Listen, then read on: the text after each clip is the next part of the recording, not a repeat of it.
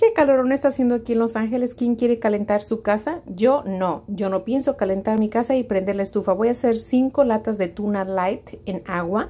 Voy a utilizar maíz. Yo voy a utilizar lo que tengo en la casa. Tengo jitomate, cebolla y chile verde. Limón opcional. Y voy a utilizar mayonesa light. Cinco latas de tuna en agua, pues que es lo más saludable en agua que en aceite. Lo que recomiendan según.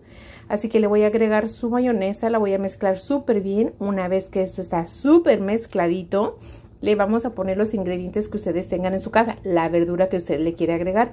Pues yo en el caso mío lo que tengo en el refrigerador es lo que le voy a poner. Entonces lo vamos a mezclar súper bien nuevamente y le vamos a poner una pizca de sal porque una pizca de sal está muy bien.